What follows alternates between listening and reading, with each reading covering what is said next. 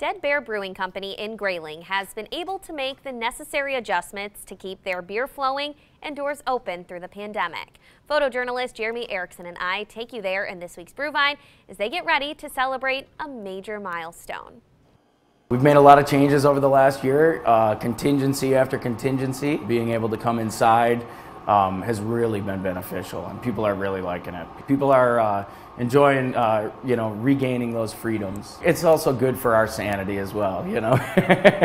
Some of those COVID contingencies led to physical changes at the brewery, like removing some of the tables inside and opening up their patio in more ways than one. We've done a lot of cool things. My wife and father-in-law decided to blow out a wall on the patio when uh, when the outdoor restrictions were going on, so they uh, they took care of that, got us open on enough sides to be open out there. We started doing that. That really turned business around. They've also gotten back to the basics when it comes to their beer menu, focusing their attention on some of their most popular Dead Bear brews. We'll always keep those four mainstays. They are what they are because, for one thing, the, cu the customers want them. You know, the especially the Hefeweizen and the Amber Ale.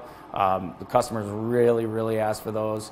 Um, the Sugar Bear has always been a cult favorite that I typically did every winter, and I just we got so much demand for it. It was like, you know what, we're gonna we're gonna stick with this right here. And then uh, the Maple Bacon Porter is just a really fun beer. Dead Bear will have a couple taps that will rotate their IPAs, stouts, and one-offs, like a special beer they're working on now to celebrate their 300th batch. We're getting uh, Rabbit Hole Cave Hill bourbon barrels. We're gonna fill those with a double brown ale that we're gonna do. Um, we're gonna call it Unbirthday Brown. Um, since the rabbit hole, you know, kind of alludes to uh, uh, Alice in Wonderland, and then we'll probably have that within one to three months of aging. It'll be a fun beer that we're going to do. We'll have our barrels probably hanging out in the lobby of the restaurant. For Brewvine and Grayling, I'm Whitney Amann.